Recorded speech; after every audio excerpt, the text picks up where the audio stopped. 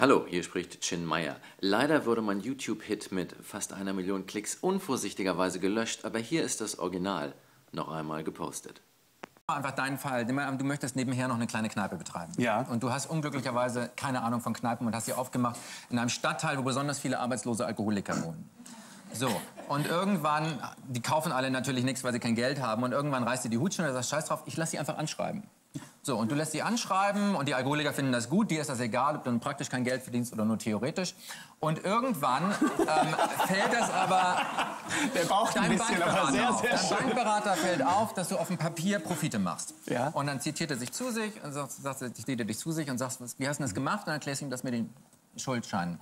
Und dann sagt der Banker, brillant. Weißt du was, Markus? Daraus basteln wir jetzt ein Finanzprodukt. Wir nehmen jetzt diese Schuldscheine, wir bündeln die und verkaufen die weiter. Mit einem gewissen Abschlag. Ja? Also wenn das 100 Euro Schulden sind, verkaufen wir die für 70 Euro weiter.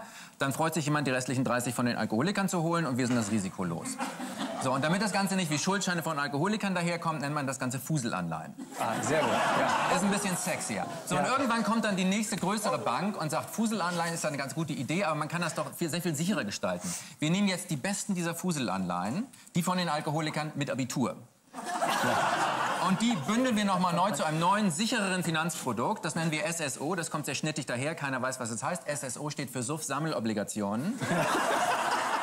Und die verkaufen wir dann noch mal weiter. Und das fängt an, richtig Schule zu machen. Das fängt an, richtig gut zu laufen. Du kaufst dir noch zwei, drei andere Kneipen dazu. Auch in Gegenden mit Alkoholikern, weil die ja besonders viel konsumieren werden. Alle sind gut drauf, die Alkoholiker sind gut drauf. Und irgendwann, irgendwann ein paar Jahre, ein paar Monate später fällt der HSH Nordbank und der Bayerischen Landesbank auf, dass da ein tierisches Geschäft an ihnen vorbeiläuft. ja.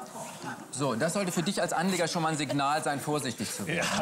Wenn Landesbanken auf den Zug aufspringen. Aber noch ist Polen nicht verloren, läuft alles super und alle sind gut gelaunt. Super. Warte ab. Und ähm, die Landesbanken haben auch gute Ideen. Die sagen, SSO ist schön und gut, aber man kann das Ganze doch noch viel sicherer gestalten, todsicher quasi. Wir nehmen jetzt die allerbesten der SSOs. Die von den Alkoholikern mit Doktortitel und ohne Leberzirrhose. Okay. Todsichere Angelegenheiten, die bünden wir Nummer 9 zu einem neuen todsicheren Finanzprodukt, DGZ Delirium Garantie Zertifikat.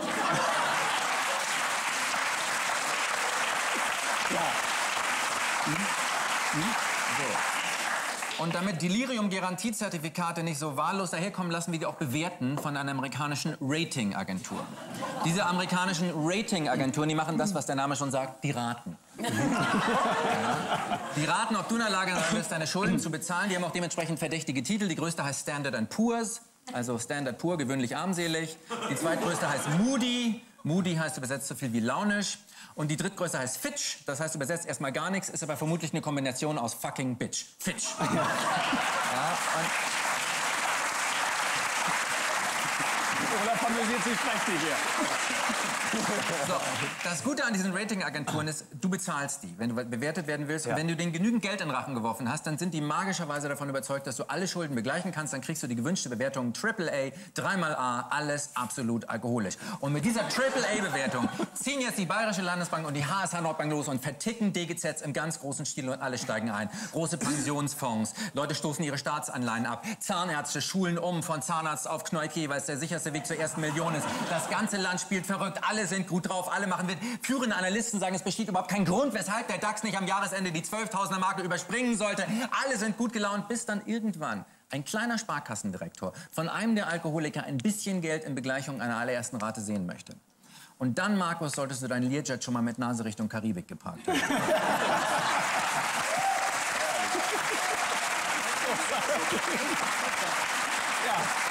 Oder?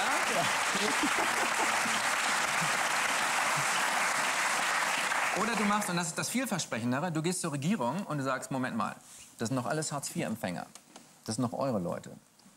Und wenn ihr mich jetzt hier nicht aus der Kacke raushaut, dann fahren wir die Wirtschaft kollektiv so dermaßen gegen die Wand, dass ihr nie wieder gewählt werdet. Und schon spannt sich über dir ein Rettungsschirm auf, du springst ab, wir sehen uns immer da. Großartig.